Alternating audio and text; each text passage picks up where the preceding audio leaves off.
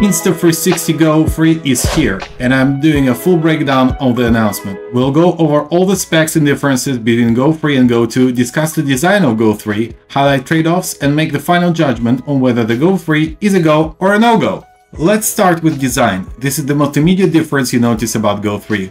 What changed dramatically is the case, or an action pod as Insta360 calls it now. This is squarely aimed at the GoPro and DJIs of the world, though it slightly loses an appeal of the AirPods Pro type pocketable solution. Of course, most people wanted a screen which flips here, and that's what Insta360 delivered. Time will tell. Another minor issue is that Go 2 case was also protecting the device all around whilst the Action Pod only really protects the back of the device. And the IP rating of the Action Pod is not really meant for underwater exercising, although Insta360 conveniently adding diving case in their accessory section. However, ability to properly film yourself may really be what matters to you most. In that case, the Action Pod is way better. I personally am torn between the convenience and new features. Feel itself hasn't changed much, bar an additional LED and some minor changes at the back, it looks the same. Now moving over to the most important part, video capabilities. Go 3 features all the modes you've grown used to in Go 2, normal video, time-lapse, time shift. It does rename Pro Video to Freeform, which I think is more of a marketing move to showcase ability to reframe post-shooting. It also adds loop and pre-recording modes.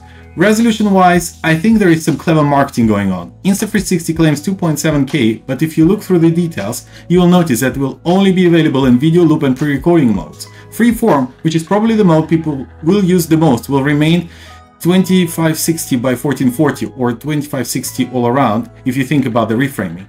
This is the major bummer of the announcement as most people were looking forward to 4K. And since all other specs around aperture and things like that are the same, we can only assume that the most improvements will be coming from improved computational videography rather than the camera itself. Battery life. Insta360 claims 45 minutes of battery life for Go 3 standalone, which is a 15 minute improvement over Go 2. Since this is measured in 1080p mode, in standard video mode, I'd expect the camera to run 25 to 30 minutes in freeform, which is still an improvement over the 20 minute mark of Go 2. Switching over to dimensions, you will notice that Go 3 is about a third heavier than Go 2, but we're talking 35 grams. I'm not sure it will be a buzzkill for anyone. And obviously the case, now called Action Pod, is much heavier than the Clam Go 2 had. But again, with Action Pod, the bigger question is its dimensions rather than the weight. Under 100 grams is not that much of an issue. Storage options finally feature 128 gig option, though it is still not replaceable. Oh well, at least you can store a bit more. Audio improvements inbound with second microphone. Since Go 2 had a very good audio quality already, I expect Go 3 to be even sharper. Insta360 also announced a bunch of accessories. In addition to the now classic magnetic pendant and cap clip, we'll be getting pivot stand and quick release mount, fetch stick for your furry friends, dive case and monkey tail mount. Magnets rule the world here and this is great. All of these accessories add endless versatility to your Go 3. Finally the price. 64GB Go 3 will set you back 399, which is about 70 more than the Go 2 used to cost at launch. And considering all the changes to the Action Pod, I think one can justify the cost increase. However, this puts Go 3 squarely in the domain of GoPro Hero 11 and makes it more expensive than DJI Action 3. Unless you absolutely need the smallest size, it may be difficult trade-off as those cameras shoot in 4K and for longer.